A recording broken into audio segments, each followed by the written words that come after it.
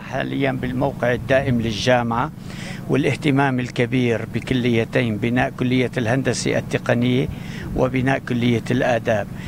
العمل يسير بوتيرة جيدة مقارنة مع الزيارة السابقة التي قمنا بها. كان يوجد صعوبات تم تذليل كافة هذه الصعوبات لأن هاتين الكليتين الكلية التقنية المساحة الطابقية 19 ألف متر مربع وكلية الآداب حوالي 70 ألف متر مربع في حال إنجازهم بشكل كامل سوف يستقطبون كافة كليات جامعة طرطوس والدوام سوف يتم في المقر الدائم. وتيرة العمل تسير بأفضل بكثير.